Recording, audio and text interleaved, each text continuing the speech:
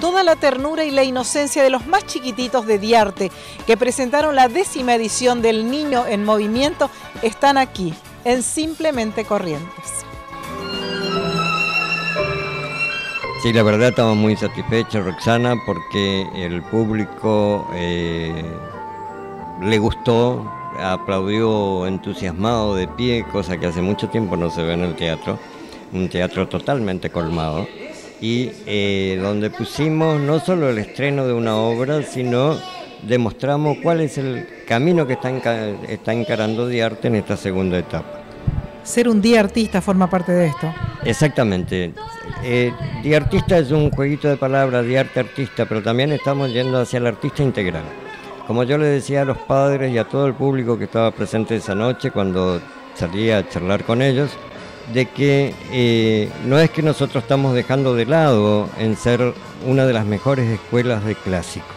No, simplemente que a eso le estamos agregando otras disciplinas para lograr un artista integral, un artista que baile, actúe y cante. Y te puedo asegurar que una platea completa, un teatro lleno, lagrimeó cuando un chiquito de siete años, solito, se puso a cantar. ¿Qué sigue para Diarte de acá a fin de año? Y para en nuestro calendario tenemos el, el, festejo del Día Nacional de la Danza, que coincide con el día que cumplimos 18 años. Y después la gala de fin de año, los exámenes finales del, del ciclo lectivo. Parece poco, pero queda muchísima actividad por cumplir. No, sí, por supuesto. Nosotros en este momento ya estamos trabajando y programando cómo hacer la gala. Porque nosotros habíamos impuesto desde en esta segunda etapa de que la gala de fin de año siempre iba a ser una obra de Dionisio.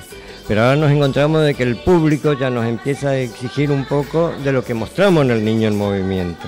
Y las obras de Dionisio son todas obras de ballet. Entonces, estamos trabajando con Joaquín y todo el equipo artístico para ensamblar, respetando el diseño de Dionisio y las coreografías que había puesto Dionisio en la obra que seleccionamos para la gala de fin de año y agregar el nuevo estilo de guiar. Muchas gracias para quién. Para los padres.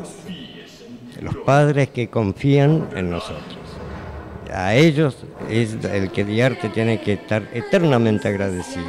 Y siempre en el prólogo, en ese programa, yo le, le puse, eh, muchas gracias por confiarnos lo más importante de su vida, que son sus hijos. Felicitaciones. Muchas gracias. ¿Tú eres el padre? Sí. Hace un rato venía con nosotros. ¿Y dónde está? Papi, aquí estoy. Papi, aquí estoy. ¡Memo! Memo. Ay, digo, Memo. Papi, te extrañé. Nunca más me separaré de ti. Te quiero. Tú también, pequeño. Tú también te quiero.